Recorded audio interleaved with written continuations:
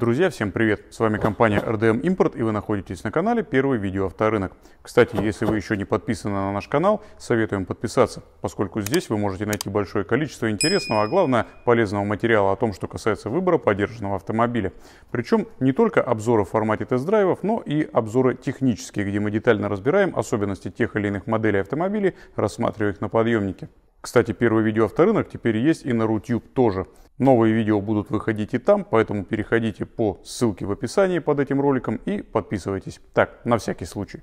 Герой нашего сегодняшнего ролика из серии «Про что нужно знать, выбирая подержанный автомобиль» – это машина, которая занимает некое промежуточное положение между классом кроссоверов и городских хэтчбеков. Автомобиль этот в первую очередь подойдет тем, кто, проживая в городе, тем не менее хочет иметь возможность периодически выезжать на проселок и не испытывать проблем с ездой по заснеженным дворам, либо с парковкой в сугробах. Будучи новой, эта машина имела отличные показатели продаж на российском рынке и, соответственно, на вторичке представлена в огромном количестве. Насколько целесообразно приобретение подобного автомобиля и какую версию предпочесть, разбираемся дальше. Встречайте, Subaru XV, первое поколение.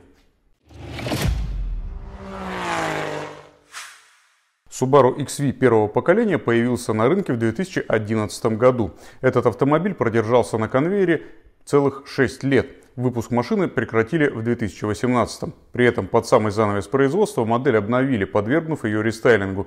Машины с 2016 года имеют несколько иное оформление передней части. Что касается линейки агрегатов, она здесь весьма необширная. На европейский рынок эти машины могли поставляться с дизельными моторами, но на российском только бензиновые агрегаты. Их два 1.6 на 114 лошадиных сил и двухлитровый агрегат на 150 лошадей. Коробки передач здесь могли быть либо вариаторные, либо механические, пятиступенчатые для младшего и шестиступенчатые для старшего по объему мотора. Ну а вариантов по типу привода здесь не было. Все XV имеют безальтернативно полный привод.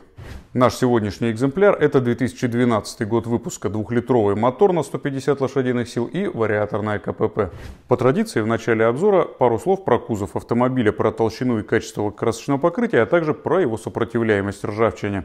Что касается толщины лакокраски, Subaru XV это типичный японец и для большинства подобных автомобилей разброс значений толщиномера будет лежать в диапазоне от 90 до 130 микрон, плюс-минус погрешность на калибровку конкретного прибора.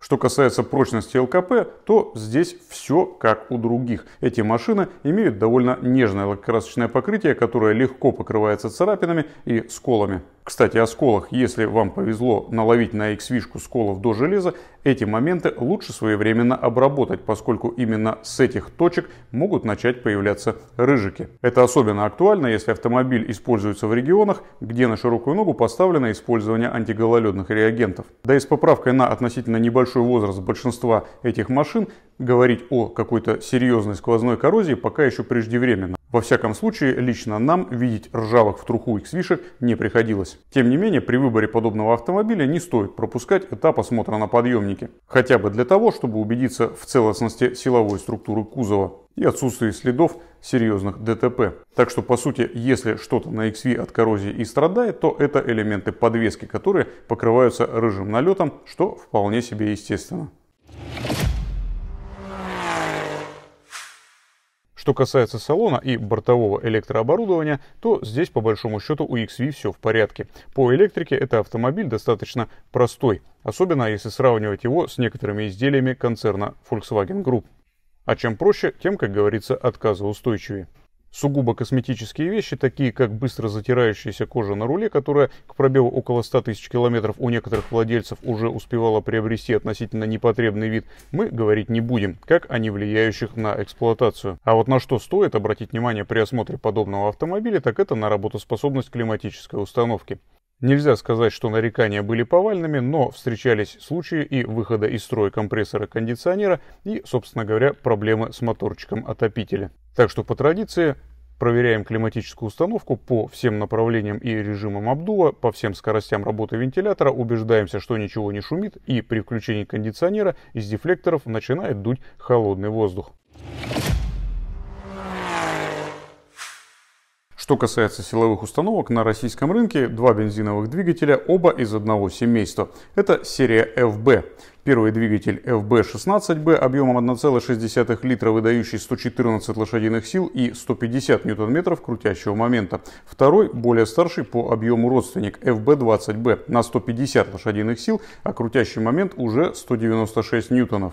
По своей конфигурации оба этих мотора, конечно же, оппозитники. Блок цилиндров алюминиевый, головки блока цилиндров тоже. По два распредвала, по 16 клапанов и нет гидрокомпенсаторов. Клапанные зазоры регулируются подбором шайб. Система впрыска топлива самая обычная, распределенная, без всяких ТНВД и прочих усложняющих жизнь конструкций. На этих двигателях применяется система изменения фаз газораспределения, которую компания Subaru именует аббревиатурой AVCS. В оригинале Active Valve Control System, то есть система активного управления клапанами. В зависимости от версии исполнения этих двигателей для разных рынков данные моторы FB серии могут иметь как две муфты фазовращателя, так и четыре. В случае с европейскими и, во всяком случае, с российскими автомобилями, как правило, это две муфты на впускных распредвалах. Каким-то особо низким ресурсом муфты АВЦС на данных двигателях не отличаются. Единственное, чего они по большому счету боятся, это использование некондиционного моторного масла, либо крайне длинные интервалы его замены. Сам производитель рекомендует менять масло на этих двигателях раз в 15 тысяч километров, что следует признать весьма неразумным интервалом и крайне желательно сократить его до хотя бы 7,5 тысяч. Что касается механизма ГРМ, то в данном случае он цепной. Цепей здесь две, по одной на каждую половину двигателя. Стоит отметить, что ресурс у этих самых цепей весьма немаленький. В обычном режиме эти цепи способны отработать свыше 200 тысяч километров пробега, прежде чем появятся первые признаки, извещающие о необходимости их замены. Так что если вы подбираете такую машину с небольшим относительно пробегом, что-то в районе 100 тысяч, цепи ГРМ вас беспокоить по большому счету не должны. Говоря о различиях моторов FB для разных рынков, можно также отметить тот факт, что для рынка Японии, например, эти двигатели поставлялись системой EGR и, соответственно, имели впускной коллектор с TGV заслонками единственное предназначение которых это снижение количества вредных выбросов в атмосферу при холодном запуске двигателя. Предназначение заслонок TGV это перекрытие впускного коллектора, частичное, конечно же, при запуске двигателя на холодную. По достижению определенной температуры они открываются и впуск приобретает прежнее сечение. Практического толку для эксплуатации автомобиля от этой системы мало, но вот проблем она может подкинуть. Проблемы могут выражаться как в непосредственно заклинивании оси заслонок, так и в проблемах с их актуаторами или с датчиками положения. Большинство владельцев Subaru, у которых такая система присутствует, со временем приходит к тому, чтобы либо программно отключить ее, удалив эти самые заслонки, либо вообще поменять коллектор на версию без них. Но если вы покупаете Subaru XV версии для российского рынка, то на моторах FB серии, скорее всего, никаких TGV заслонок у вас не будет. Часть спускного коллектора, именуемая на сленге бинокль, будет представлять собой обычный кусок пластмассы.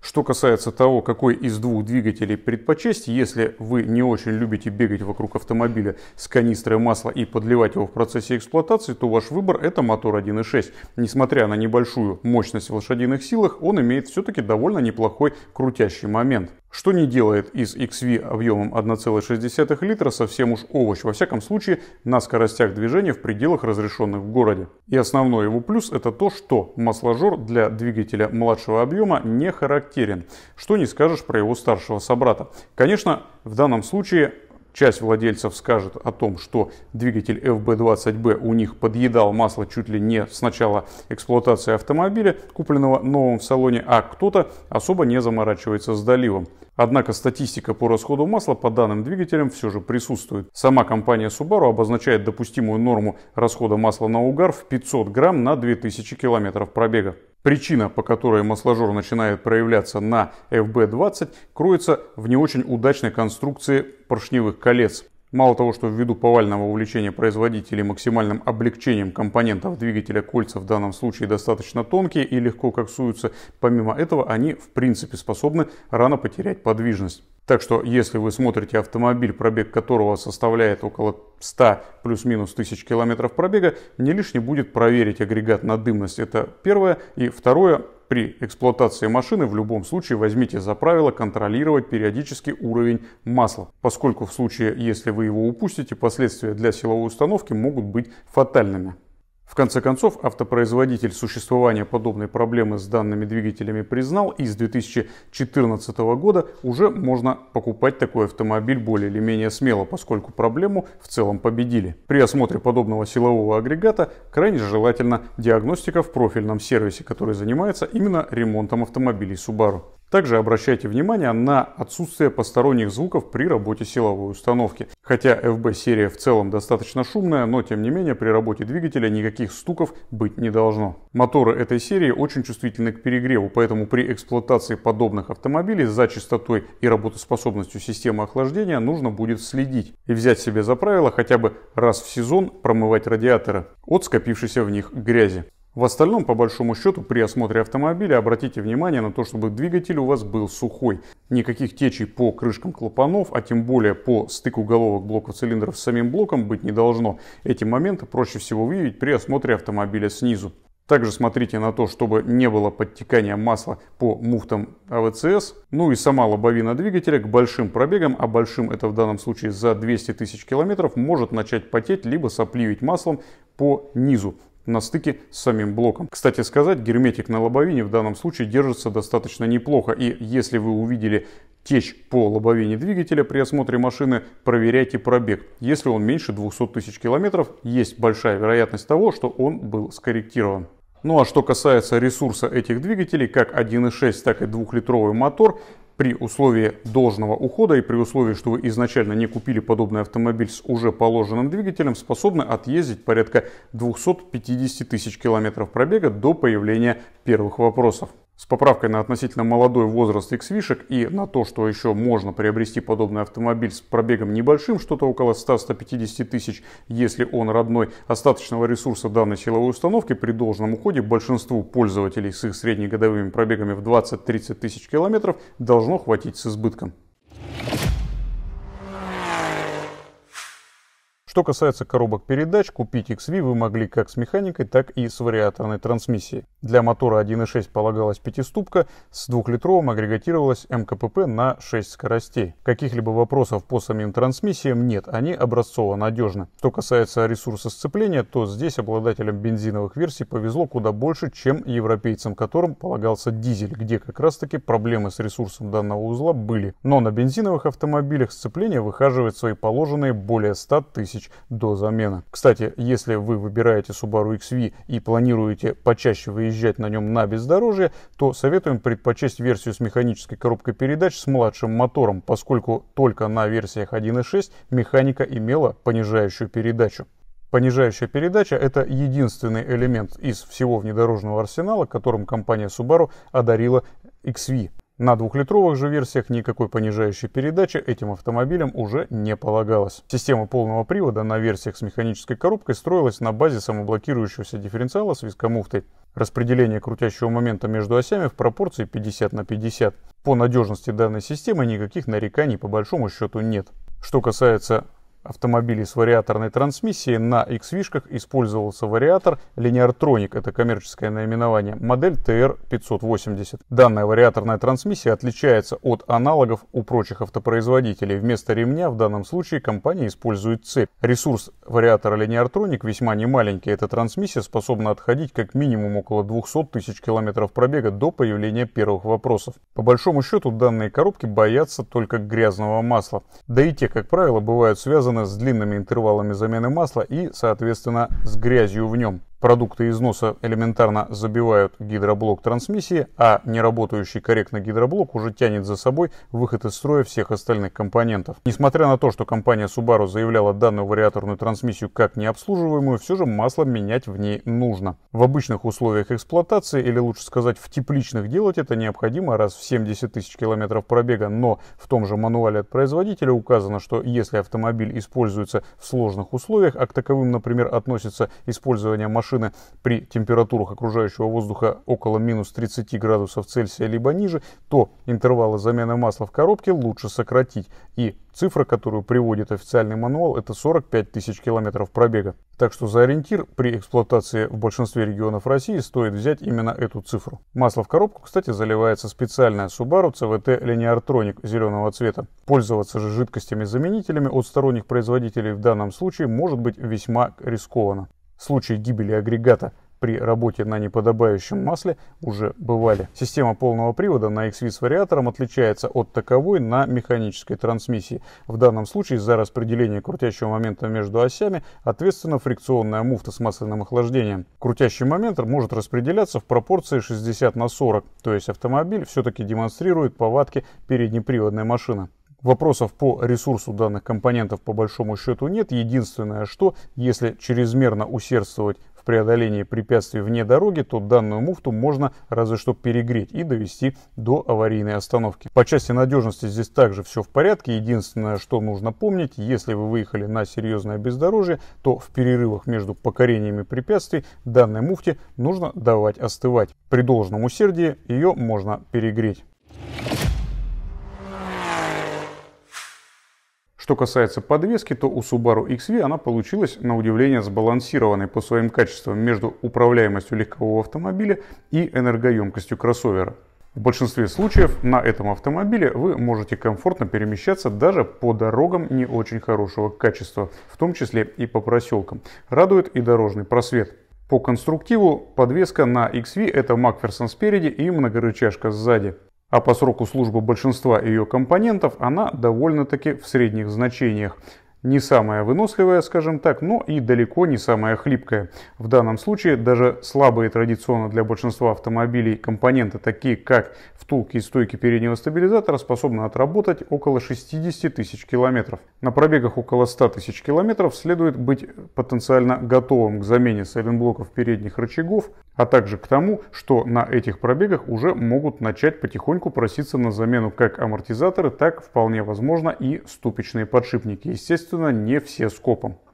Рулевая рейка, самый дорогой компонент любой ходовки, на Subaru XV электрическая, соответственно никаких шлангов гидроусилителя, самого насоса, ничего такого здесь нет, проблем с течами у вас точно не будет. С чем сталкивались некоторые владельцы данных автомобилей, так это с появлением стуков на пробегах около 100-120 тысяч, и как правило стуки эти вызываются износом втулок рулевой рейки. Соответственно, после их замены рейку можно эксплуатировать дальше. Так что по большому счету к слабым местам она также не относится. Задняя подвеска XV, несмотря на то, что представляет она собой многорычажку из сайлентблоков, здесь много до пробегов в 150 тысяч километров, как правило, ничем себя особо не проявляет. Ну, разве что попросится на замену втулки либо стойки стабилизатора. Присутствуют в задней подвеске XV также и шаровые опоры, поэтому при покупке подобного автомобиля обязательно внимательно диагностируйте подвеску, поскольку элементов здесь много. И перечень замен в случае, если подвеска полностью легла, будет довольно обширный. Так что при покупке подобного автомобиля тщательная диагностика подвески желательна. Элементов здесь много, и в случае, если вам придется менять всю ее скопом, это будет поводом для очень хорошего торга с продавцом. Ну а теперь выводы. Subaru XV это весьма интересное предложение на рынке компакт-кроссоверов. Помимо необычной, неординарной, яркой внешности, этот автомобиль может похвастаться практически самым большим дорожным просветом в своем классе среди аналогичных компактных автомобилей. Надежной и очень интересной системой полного привода. Хорошей, во всяком случае пока еще, коррозионостойкостью кузова а также очень удобной совершенно легковой посадкой за рулем. При этом для задних пассажиров места также достаточно. Единственный недостаток по сравнению со старшим собратом Форестером – это маленький багажник который благодаря наличию запасного колеса под полом может похвастаться очень небольшой высотой и объемом всего в 380 литров. Что касается двигателей, то если речь идет про дорестайлинговый автомобиль и вы так уж сильно боитесь купить машину с расходом масла на угар, то желательно присмотреться к мотору 1.6, где данных проблем мало. Если же вы смотрите автомобиль после 2014 года выпуска, то здесь уже можно смотреть и двухлитровые машины. Но, но помните, что на вторичном рынке большую роль играет состояние, и покупать подобную машину без тщательной диагностики может быть себе дороже. Что касается механических вариаторных коробок, то здесь по большому счету вопросов к надежности узлов также нет а ходовая часть в среднем будет требовать вмешательства не чаще, чем раз в 100-120 тысяч километров, что также вполне приемлемо. Так что, если этот автомобиль нравится чисто внешне и подходит вам по своим потребительским качествам, берите. Какую версию предпочесть? С точки зрения надежности, пожалуй, самым предпочтительным выбором будет найти машину с двигателем 1.6 на механике с понижайкой. Данный автомобиль будет демонстрировать, кроме прочего, и неплохие внедорожные качества. Ну а для городской эксплуатации смело можете выбирать вариатор, который у компании Subaru получился на редкость удачным в плане надежности. На сегодня это все. Если наш обзор был вам полезен, понравился, ставьте лайки, подписывайтесь на наш канал и не забывайте указывать в комментариях, какие автомобили вы желали бы видеть на нашем подъемнике в будущем. Ну а мы в свою очередь постараемся их для вас раздобыть и отснять. Также, если у вас был или есть до сих пор Subaru XV, и вы проехали на нем не одну сотню тысяч километров, и вам есть чем нас дополнить, либо в чем нас поправить, обязательно пишите это в комментариях. Ведь людям, которые задумались о покупке подобной машины, именно ваш комментарий может оказаться полезным. Спасибо за просмотр и хорошего вам дня. Пока!